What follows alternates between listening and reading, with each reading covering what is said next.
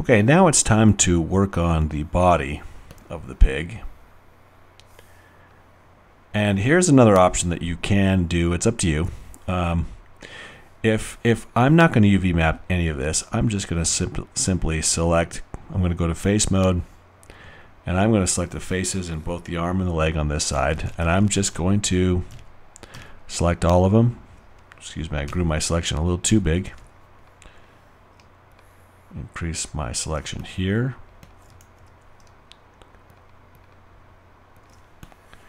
Just have to manually select this these faces.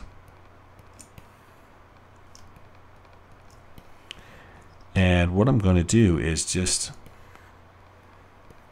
delete this bit of geometry and I'll remirror it later. And you can UV map any way you want. This isn't, once you understand the, the technique and the concept behind it, you can do whatever you'd like to UV map. I'm just going to delete those. And I am going to um, do another trick, which is I'm going to select in face mode uh, this arm on this side, which is already has already has a UV island and I am just going to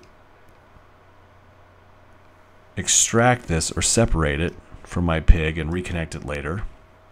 So I'm just going to go to mesh and extract. It becomes a separate object. And I'm going to go to face mode here. Select this leg. And again hit G to extract again.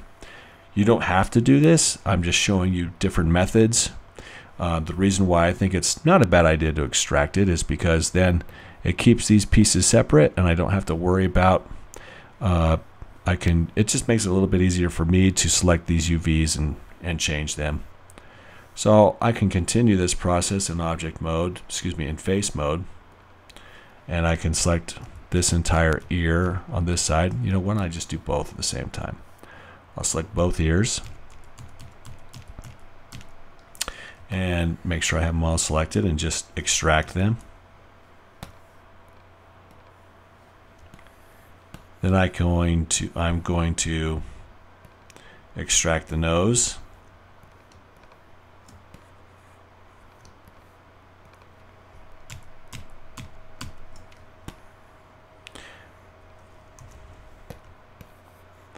And then I'm going to extract the head from the rest of the body.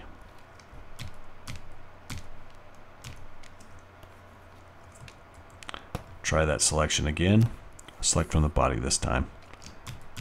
And I will extract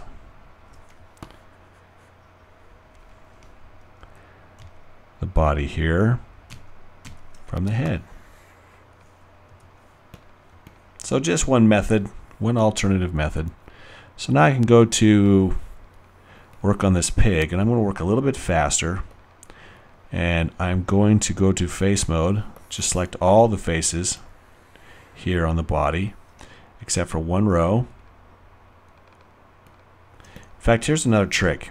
I can actually just double click this row and I can say this this is the excuse me um, the uh, the loop here the ring I'm going to select this ring and then I can go just go to edit and invert selection and you can see I don't have to spend so much time selecting that well I went all the way through so maybe I have to select this one side there's always a there's always a little bit of complication.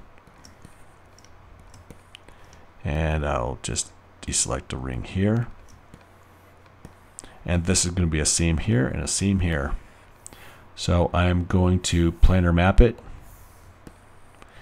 Then I'm going to planar map this one right here. And lastly, I'm going to planar map this section.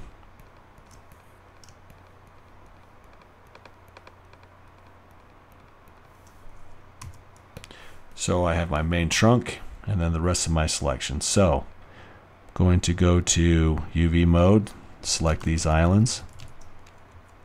Gonna move this. Here's the main body. Move this off. Seems like there should be one more selection here. And I'll I will go through and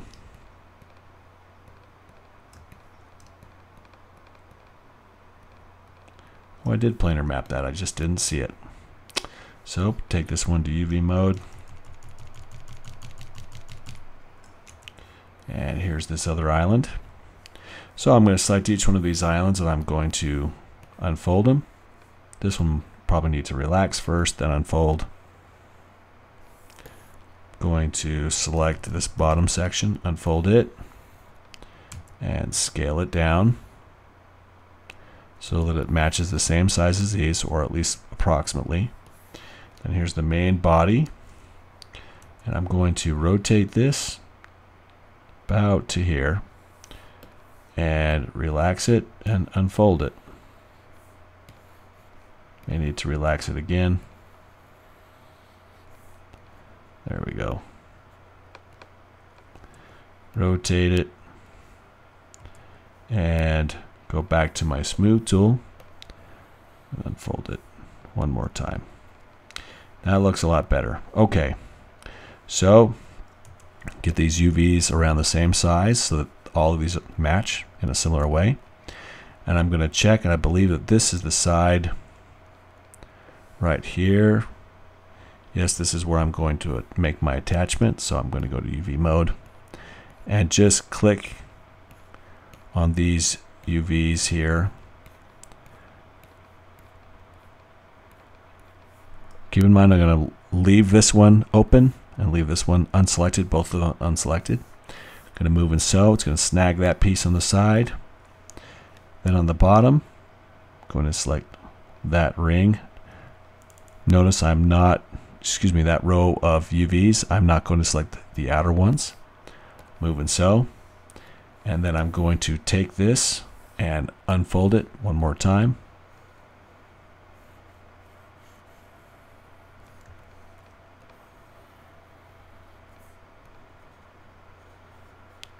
And there you have it. Another UV island. And I'll just move it off to the side like this and leave it there.